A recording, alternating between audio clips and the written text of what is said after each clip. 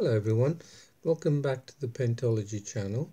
Today I'm going to show you how to export data out of Sketch, the online community feature that is being discontinued by the end of this month, uh, which is September 30th, 2019. So first of all, go to your app, open it up here, and you'll see this notice pop up every time you open it and this is to let you know that the service is being discontinued September 30th.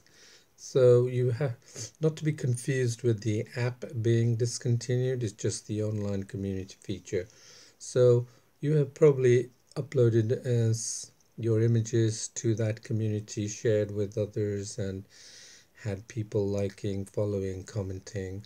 Those are the actual stuff that will be taken off the server so you would need to download that. So the way it's done is first of all go out of this notice then click on settings here and then you'll be presented with this screen here.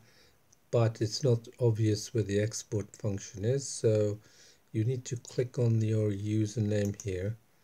Then the export sketches and data pops up here. So click on that then you have your email that you need to submit here and all that information will be sent to your email via zip file.